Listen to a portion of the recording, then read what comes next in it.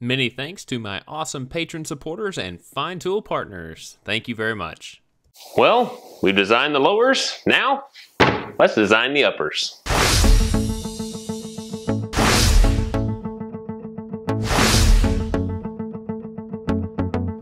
So the designs of the uppers are going to be really, really simple. So I'm going to make this video fairly quick. Uh, you really only have to accommodate the two sides, the bottom and the top, making sure that you accommodate joinery for it all. And then the back is simply going to be a half inch thick piece that will allow you to be able to screw it to the wall and it will hold without a problem. You could put nailers behind the half inch back, but it's not necessarily a necessity. I didn't do that on these and these things are holding up great. So I want to take the time real quick to welcome you all. If you have not subscribed yet and you like videos like this with SketchUp and build videos, hit the subscribe button right now, click that notification bell, and it will tell you anytime I upload new content. So now let me take you inside the computer of SketchUp and let's get busy. All right, so let's add on to this particular tutorial that we started last time. Now I've already taken the time to make a countertop to make this thing overall 36 inches tall. So now the standard for upper cabinets is where we're going to begin. So the, the distance between cabinets on an upper and a lower is typically going to be 18 inches. So we can measure up 18 and that will be the very bottom of the cabinet. That includes the face frame, not just the bottom of the shelf. Uh, so you cannot exceed this 18 mark. This just gives adequate space for people to put things underneath the upper cabinet on their countertop, such as KitchenAid mixers and things like that. As far as the depth goes, you're typically going to find cabinets that are going to be about uh, 12 inches, 12 and a half inches deep. Um, now you can alter this a little bit, but the thing that you have to pay real close attention are the types of things that people are going to put in those cabinets. So since you're making custom cabinetry, the best thing to do is try and find out from the homeowner what is the biggest thing that they may be putting in this cabinet that might prevent uh, prevent it from being stored if you make the cabinet too uh, not so deep, not not deep enough.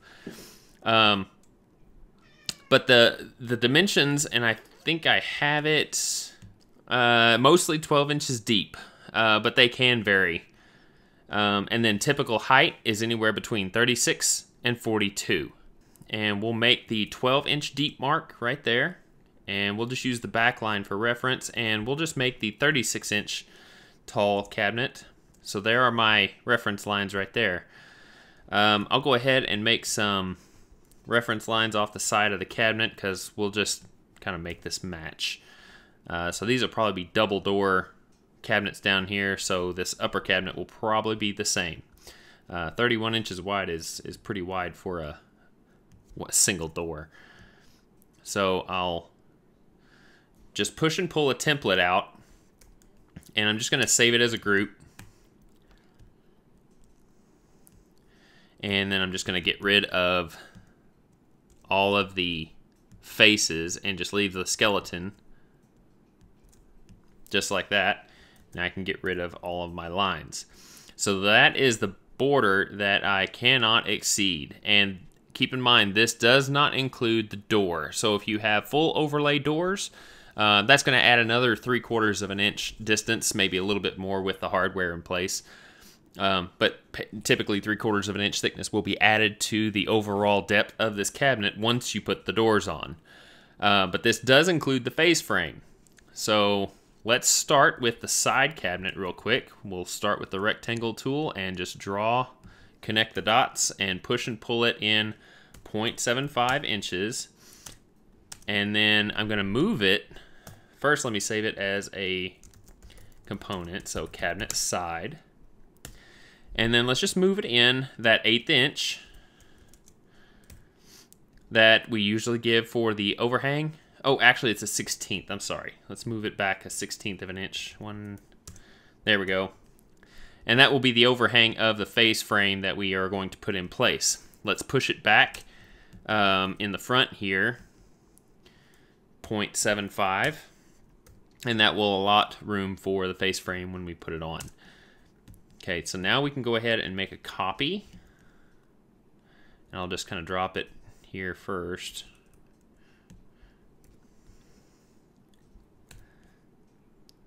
Then drag it. And then push it in that 16th of an inch off that line that we snapped it to. So as you can see, we're inside a 16th of an inch here, and it's the same way on the other side. And then I've got a 3 quarter inch gap between this line and my cabinet side. Now, the top is usually done with a rabbet. So we'll drop down 0.75 inches here and then create a rectangle off of that reference line and push it in 0.25 inches for the rabbet. The bottom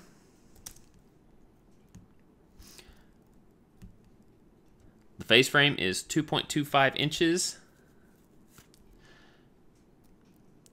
and then we'll go down 0.75 inches. So this is where the bottom will be. And the face frame will be right flush with it 0.25 deep. Now one thing I didn't do yet and you guys can see how this works when you flip objects. Uh, so I didn't flip this uh, along the red axis to make sure that it's kind of a mirror of each other. So as you can see as I copied it and brought it over um, the sides stayed the same. So I need to flip it along the red axis. So now everything is now mirrored and the joints are all on the inside of the cabinet. All right, so let's come over here and make a rectangle for the top. Right there. Push, pull it down and snap it to that line. Make this a component and we'll call it cabinet top, upper,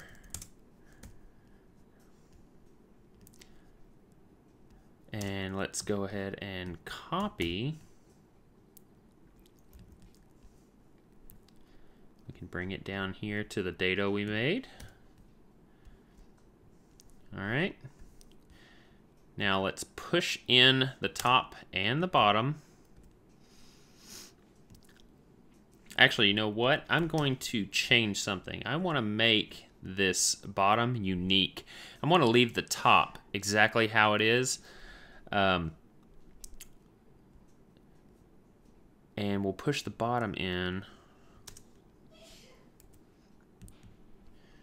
one inch. That'll give us a half inch back and then a half inch gap for scribing. Now let's make this unique. Pull it back out to where it was because I forgot to do that before I did this. So now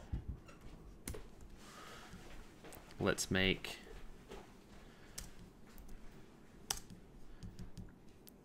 the dado, which is one inch in and a half inch thick.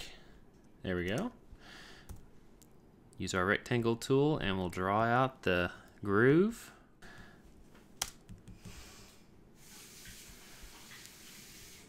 And then pop that there, drag it in 0.25 inches, and then get rid of the two divider lines that you see right there to make it all solid.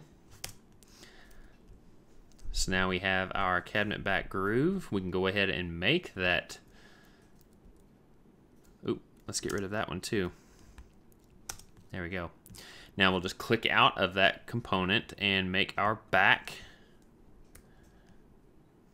zoom in to where I can see the bottom. Now you can make the bottom flush or you don't necessarily have to, but if you don't want to see the grooves that you made for the joinery, I suggest taking it all the way down. And then push pull it out to the edge of that dado.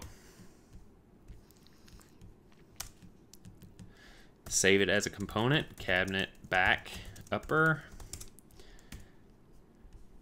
Okay. And then we can unhide the top. There we go. And now let's just add the face frames. Start with the stile first.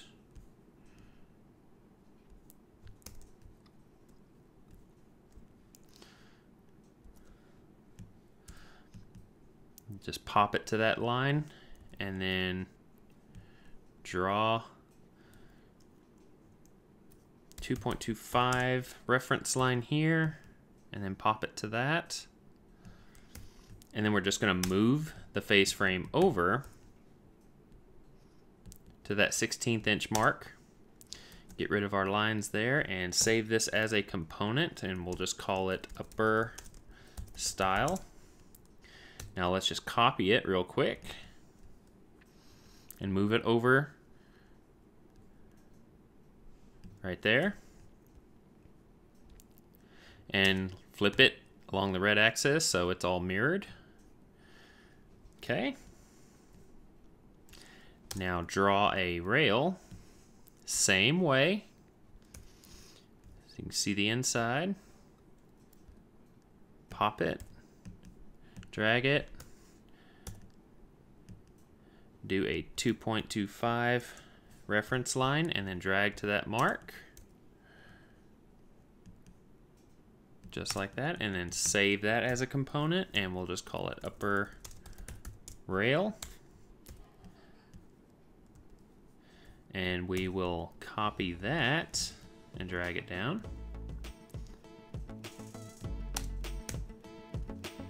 And there we go. So you can go as far now as putting in adjustable shelf pins, you can go ahead and make your doors, you can even put crown molding at the top of this. But that is how to design your cabinetry for the upper. You just gotta know your standard dimensions and find out exactly what the client is going to be putting in these cabinets and you can make your adjustments as necessary. So I hope that was informative enough. Like I said, it was actually pretty easy and quick to do. If you're interested on those uh, shelf pin holes or even the crown molding, I did do videos on those and you can find those in the tutorials of the playlist for SketchUp for Woodworkers. Uh, and that will be in the card that you'll be able to find right up there. And if you are interested in any of my prior SketchUp videos, or maybe my build videos that I have in the past, and I got a lot of them, you'll find them right over there. Also, do not forget, you can hit that subscribe circle button that has my pretty mug right in the center of it, and you can subscribe to the channel and be notified when I upload new content. I want to thank you guys for joining me on this episode, and I'll see you on the next one. Boom!